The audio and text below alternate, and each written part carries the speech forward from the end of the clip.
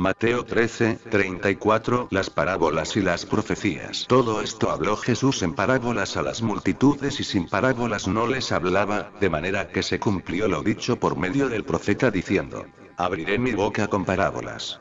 Publicaré cosas que han estado ocultas desde la fundación del mundo.